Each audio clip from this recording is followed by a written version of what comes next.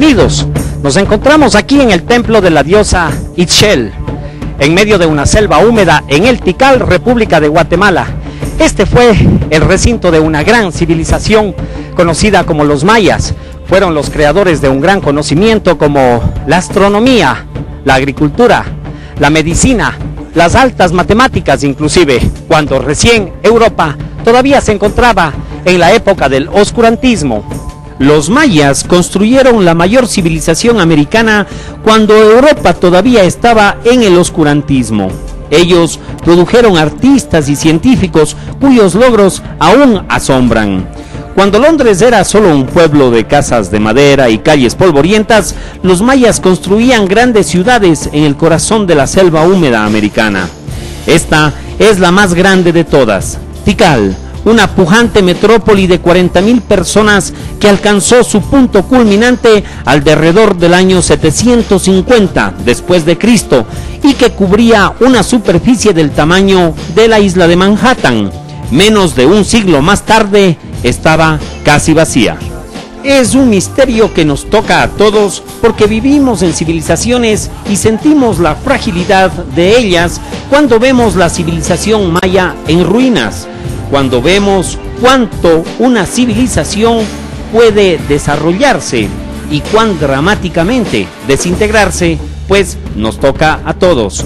Para conocer a ciencia cierta esta cultura que aún Occidente sigue sin entenderla, ya que los prejuicios en el conocimiento han tratado de encancillar su real historia en lo que denominan mitología, pues conseguimos una entrevista con un descendiente de segundo linaje de su cultura el gran señor Balambú. Ciertamente este nombre en argot maya significa el tigre que habla o el tigre parlante. Este nombre es el nombre, podemos decir, el nombre cósmico, un nombre que no tiene nada que ver con el nombre que nuestros padres nos ponen, el que está registrado ante el gobierno. Cuando iniciamos el análisis de la filosofía de vida de la cultura maya, empezamos por abordar uno de los principales ejes de su cultura, el sol. Al respecto de su importancia, Balambú nos dice. La verdad es de que no es la importancia que le daban, sino la que se le da todavía actualmente. El sol constituye la parte básica y fundamental de la vida, como el dador de vida por eso es que el pueblo maya le ha rendido culto por milenios. A diferencia de otras civilizaciones, los mayas no murieron de hambre, por ejércitos invasores o por enfermedades. Las ciudades mayas fueron abandonadas más que destruidas. Los mayas que alguna vez habitaron las ciudades solo se alejaron hacia los bosques y jamás volvieron. Hoy los descendientes de los mayas aún viven en la tierra de sus ancestros, pero el imperio ya no está. Pero, ¿por qué? ¿Por qué los antiguos dejaron sus ciudades? Esta es una pregunta que ha cautivado a los historiadores y arqueólogos por muchos años. A más, el comprender el significado de estas construcciones. La cantidad de templos que se, que se construyeron en las ciudades mayas obedecen a una razón del índice tan grande de deidades con el que el pueblo maya cuenta. Podemos pensar en cuanto a 18.890, son miles de deidades.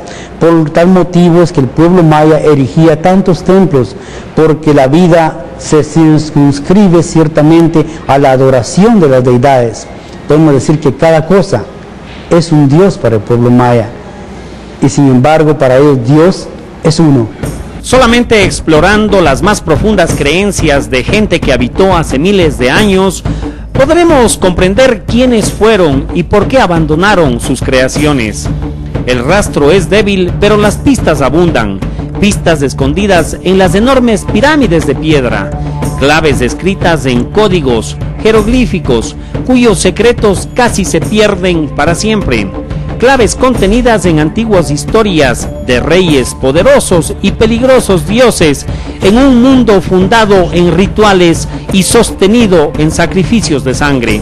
Historias todavía narradas por los ancianos a los niños descendientes de un imperio que desapareció hace años.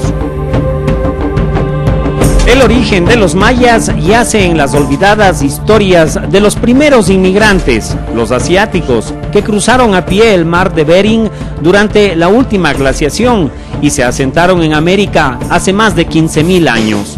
Miles de años transcurrieron antes de que los primeros mayas se establecieran en las húmedas junglas de América Central. Luego, en un periodo que abarcó entre el 250 y el 900 después de la era cristiana, la sofisticada civilización que llamamos maya floreció. Cientos de ciudades fueron construidas. El vasto territorio que hoy es el sur de México, Belice, Guatemala y Honduras se volvió en el imperio de los mayas. Prosperaron durante más de seis siglos. Luego se terminó todo el imperio. Los mayas simplemente se marcharon. Sin duda la relación y el exacto conocimiento que los mayas tenían acerca del cosmos era impresionante, lo que formó un concepto exacto de su cosmogonía. El cosmos ciertamente lo constituía la forma circular, la rueda. Entonces, cuando ellos hablaban acerca del cosmos, estaban hablando del todo, del universo.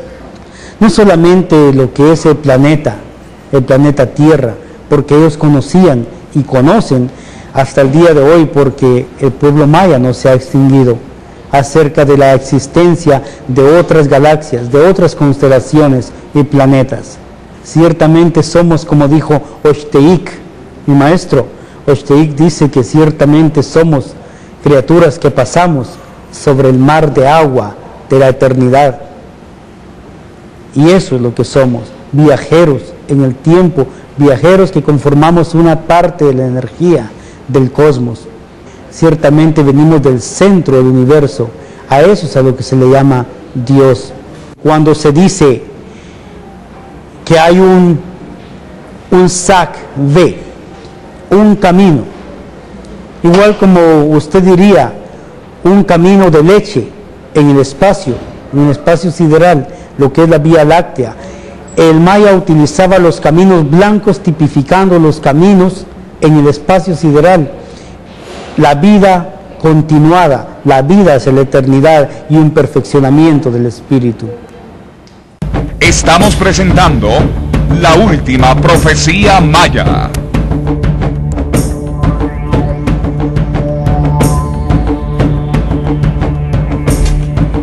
Por miles de años estas ruinas permanecieron perdidas y olvidadas.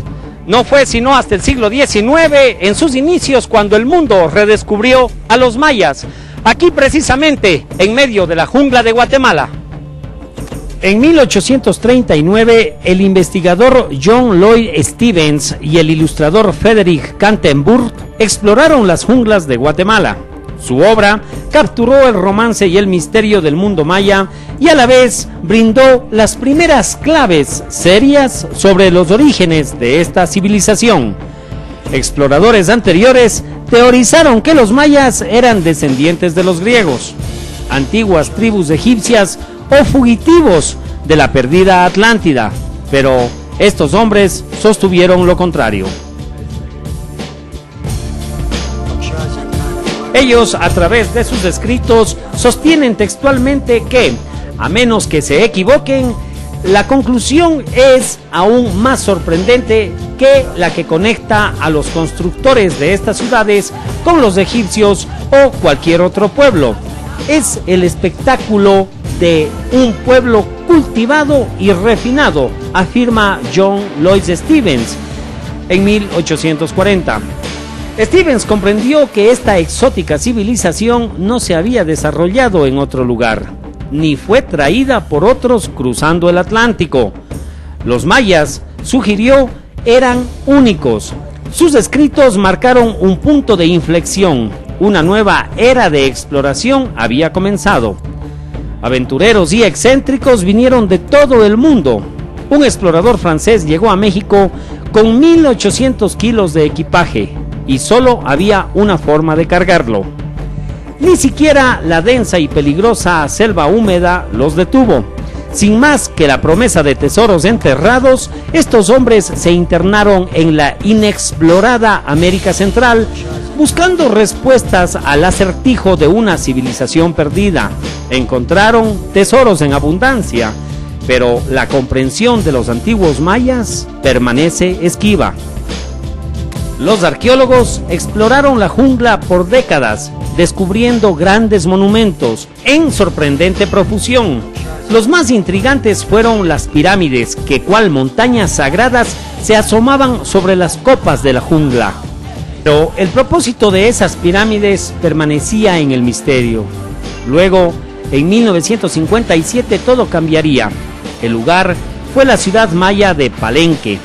El gran arqueólogo mexicano Alberto Ruiz había pasado cuatro años excavando la más impresionante pirámide, el Templo de las Inscripciones. Estaba ante el portal de su descubrimiento.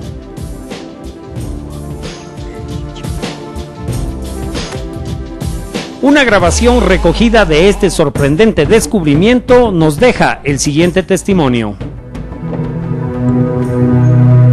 Entré en la misteriosa cámara con una extraña sensación. Era natural. Los míos eran los primeros pasos que se oían en miles de años. Buscaba ignorar los siglos y escuchar las vibraciones de las últimas voces humanas que habitaron estas bóvedas. A través del impenetrable velo del tiempo, advertí el lazo increíble entre sus vidas y la nuestra. En el centro de la cámara mortuoria había una enorme tumba de piedra. Sus hombres trabajaron fervorosamente para levantarla.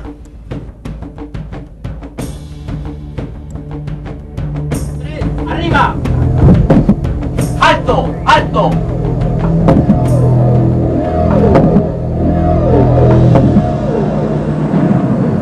Observé el rostro muerto de aquel por el cual todo este estupendo trabajo, la cripta, la escalinata, la gran pirámide con el templo coronado, habían sido construidos. Esta película muestra a Ruiz en los momentos previos a su descubrimiento, pero los restos de un esqueleto y una hermosa máscara de jade solo trajeron más preguntas que nadie, siquiera Ruiz, podía contestar. ¿Quién era él? ¿Qué sucedió en su vida para que su muerte generara tal ceremonia? ¿Quién era el hombre detrás de la máscara?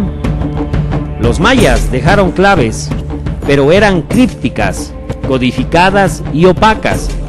Solo descifrando esta evidencia podemos comprender el significado de estos templos. Estos templos siempre fueron sagrados, la personalidad de los hombres y mujeres que los construyeron y la razón para su súbita desaparición de las ciudades abandonadas siguen el misterio. Hace más de un siglo John Stevens predijo que las extrañas inscripciones en las paredes poseían la clave del misterio mismo de los mayas. Él tenía razón, pero recién ahora tras haber roto el código más grande de todos los tiempos, los secretos de estas silenciosas piedras finalmente son revelados.